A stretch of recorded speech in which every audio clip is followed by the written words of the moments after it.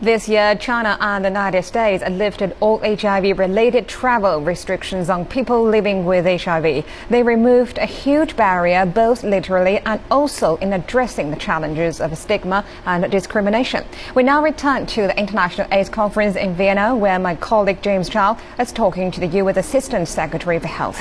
Hello, James.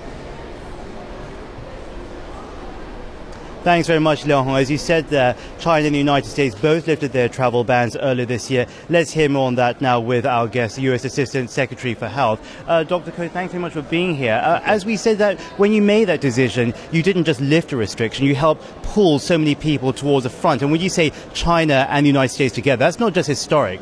That's pulling together 1.6 billion people towards that front. As a political leader, what does it mean to you? But also as a physician, what does it mean to you also?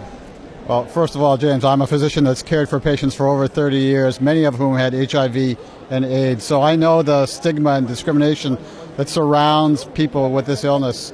So it was very gratifying for me personally and professionally as Assistant Secretary to be involved uh, with Secretary Clinton and Secretary Sebelius and the President as this ban was lifted.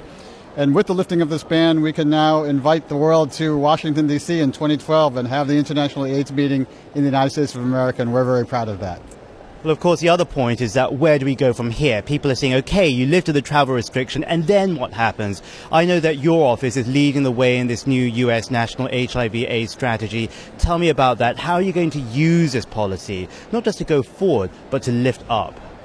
Well, first of all, we are very committed to having the U.S. and China work even more closely together on public health issues. I was just in Beijing last month as the Assistant Secretary representing the United States. That was a great honor for me. So, with this new strategy unveiled by the president, we want to have a vision where HIV is rare and everybody receives care. And everybody needs to be involved. You don't have to be infected to be affected by this virus. So, we want to re energize our commitment in our country, redouble our efforts with your country and countries around the world, and we want to achieve this vision in a very short period of time.